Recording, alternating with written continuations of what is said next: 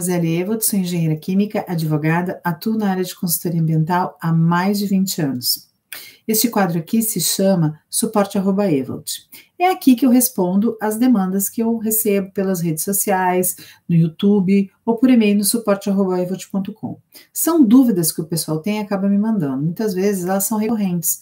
Então, em função disso, eu faço pequenos vídeos, leio a pergunta e, e já uh, respondo ela fica disponível no meu canal e você tem acesso a qualquer momento. Se outra pessoa tem a mesma dúvida que você tem, ela já vai encontrar a resposta lá, ok?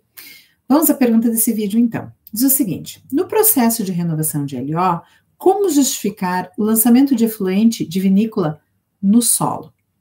Bom, como que você justifica? Você primeiro precisa fazer um estudo sobre a qualidade do seu solo. Você vai chamar um engenheiro agrônomo, ele vai dar uma olhada, vai ver quais são as propriedades do solo, quais elas, quais propriedades o solo tem, quais propriedades o solo deveria ter, vai fazer uma análise do vai ver como está o seu efluente, qual é a vazão que você tem, nível de permeabilidade do seu solo.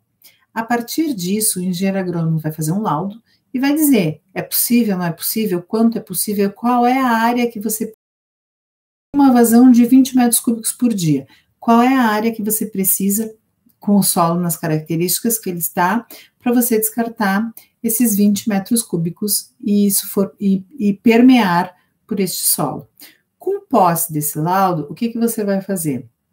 Você vai entrar em contato com o órgão ambiental no processo de licenciamento, você vai dizer que você uh, precisa descartar esse efluente no solo e vai anexar esse laudo junto, provando que isso é possível tá?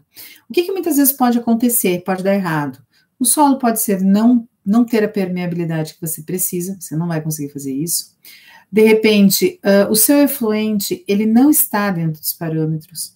Uh, os, os, as concentrações, os componentes específicos do solo podem ser carreados por este efluente, então isso é uma questão que você também tem que se preocupar, ou simplesmente o seu empreendimento está instalado numa região que não pode ter descarte algum. Ah, por exemplo, ah, está instalado numa zona de captação de água, onde não é permitido descarte de efluente industrial, seja o efluente que for. Então, você não vai conseguir fazer este, este licenciar desta forma. O que, que eu te oriento a fazer? Verifica aonde que o empreendimento está instalado, se existe alguma restrição na legislação sobre descarte de efluente naquela região, seja ela qual for.